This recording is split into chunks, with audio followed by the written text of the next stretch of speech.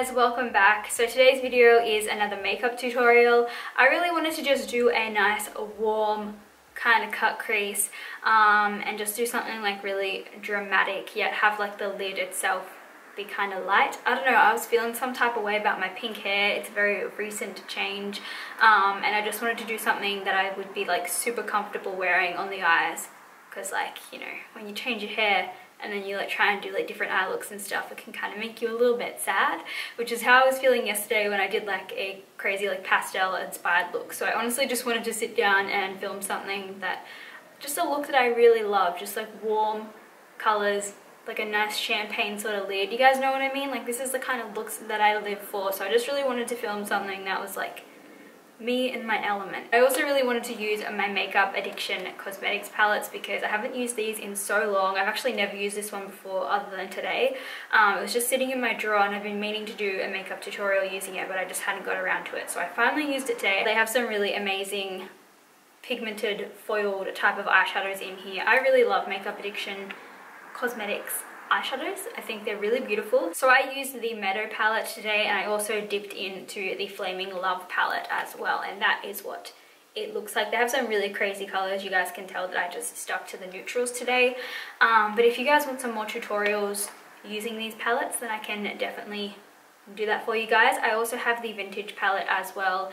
Um, and yeah, so if you guys want more toots using like the colorful shades in those palettes definitely let me know um, but yeah without any further ado we're just gonna jump straight into this tutorial I really hope that you guys like it I know it's not like crazy out of my comfort zone it's like really just my little bubble of what I love um, but I just really needed to do something that just made me so happy today. You guys know what I'm saying? Please give it a big thumbs up because that would really help me out. Subscribe to my channel if you haven't already. And we're just going to get straight into the toot. Hey guys, what's up? Welcome back. So we're just starting off with some skincare because as you guys can tell, I was looking and feeling some type of way. I was really tired. I think I'd just woken up when I was filming this and yeah, I was, it was not my hottest moment. Um, but I was just going in with my, I was going to say Malheur, what am I saying? My La Mer renewal oil and then my Tarte Brighter Days moisturizer. I've really been liking those as like a base underneath my makeup um, and I've kind of been skipping the primer lately. I don't really know why, I just, I don't know, just trying things out. And then I just used for foundation my Makeup Forever foundation stick in the shade Y245 I believe. Like always everything will be listed down below so don't forget to check the description box. And then you guys just see me going in with my Sigma 3D HD blender sponge. It's my favorite at the moment. It's just like a beauty blender um, but it has like a little ridge on the side, so like corners. It's really good for like getting underneath your eyes and in the corners of your nose, if you guys feel me. Um, and you guys can use Kasey Rayton to get 10% off any brushes or anything from Sigma. I definitely recommend them. They're my faves, and I will leave all my brushes on the screen as well as listed down below for you guys. But then I'm just going in and doing my brows. I thought I'd just include a quick little snippet of how I've been doing them. I like to use my Sigma E75 brow brush and my Anastasia Dip Brow in the shade Blonde. And then I just use a little bit of concealer to clean that up. And that's been like my go-to brow routine at the moment. Um, sometimes I'll use a brow gel, it just depends if I need it. Then you guys see me going in with these Cover FX Custom Enhancer Drops. I think that's the name. These ones are in the shade Sunkissed. I think they are the most beautiful and natural looking contour bronzy sort of shade ever. It's just my favorite liquid bronzer at the moment. I'm obsessed. Um, it's like the perfect mix between like warm and neutral. So you guys can definitely get away with using this as either like a bronzer or a contour. Um, it's honestly just like the perfect shade. And then going in with my Tarte Shape Tape Concealer in the shades Fair Neutral and Light Medium. And I'm just blending those underneath my eyes with my Sigma F03 brush. So I thought I would just use a brush today. I usually, usually use my Beauty Blender, but I don't know. I just thought I would see how a brush goes. And then you guys see me going in and setting underneath my eyes. So I'm just using my Laura Mercier Secret Brightening Powder to set the under eyes. Just a little bit, you don't need too much. And then going in with my Laura Mercier Translucent Powder all over the rest of my face.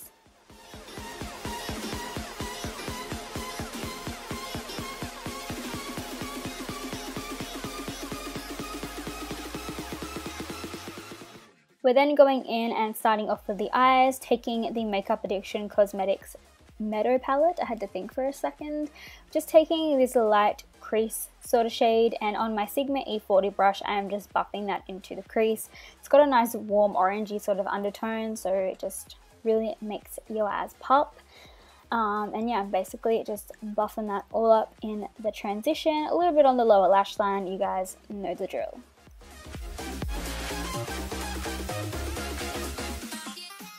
Then from that same palette, I'm taking the orange shade and on my Sigma E25 brush, I'm blending that into the crease. So I like to hold the brush like sideways so the tapered edge is like getting right into the crease and then I like to turn it on its side so it can like help buff it all up in there. I don't know if that makes any sense, um, but I'm also dragging that on the lower lash line as well. Basically just building the color up into the crease and then onto the lower lash line. And then you guys see me go in with my Sigma E40 brush just to make sure everything is really buffed out, blended and seamless.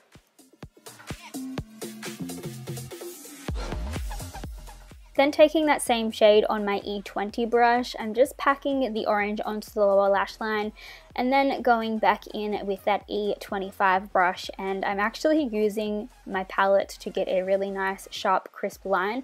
I didn't want it to be too sharp, I want it to be a little bit diffused which is why we're not using tape today.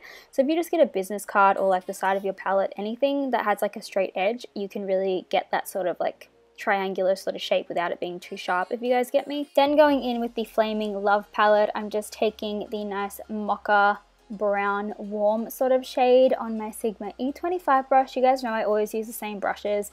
Everything will be listed on the screen and the description box if you guys are getting confused or lost at all. So definitely pay attention to those because it will help you guys out.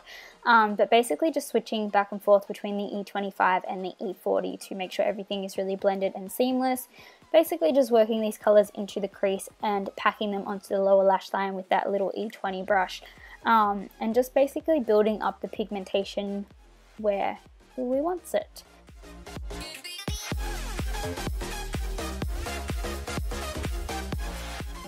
Then going back in with that same Flaming Love palette, I'm taking the dark brown shade and on my Sigma E47 brush, I'm just starting to work this into the crease and the outer corner. So basically just the whole time through this entire tutorial I'm just trying to build up like that definition as well as like drag it out nice and dramatic if you guys get me.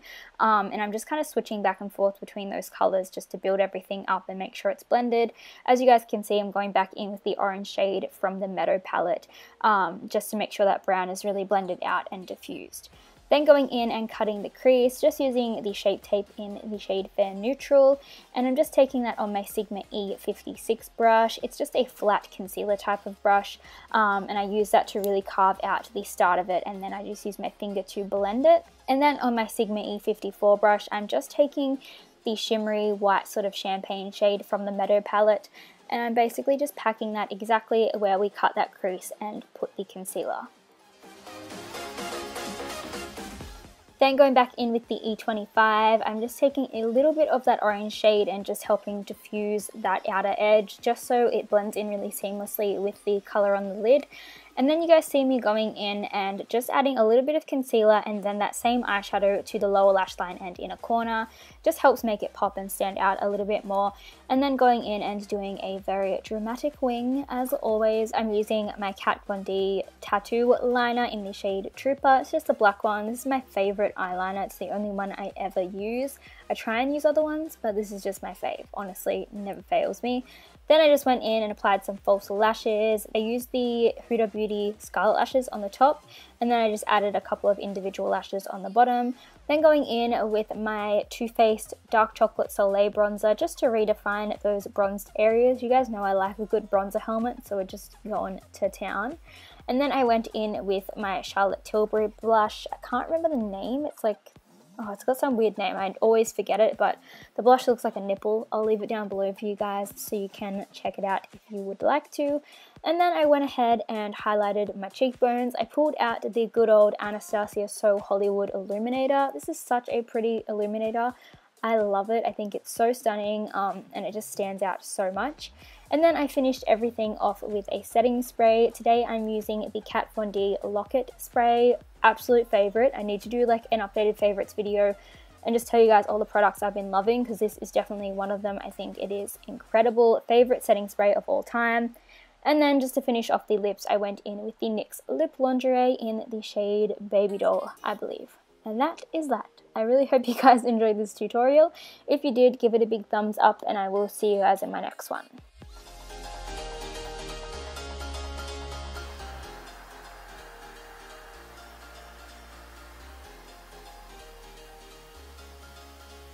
What the fuck? That doesn't even make sense. The makeup. Blah blah blah. Blah blah blah. Blah blah blah. Another. That sounds so boring. Hey. Today's look. What the fuck? That's never how I say my intros. My fridge. My fridge is making noise.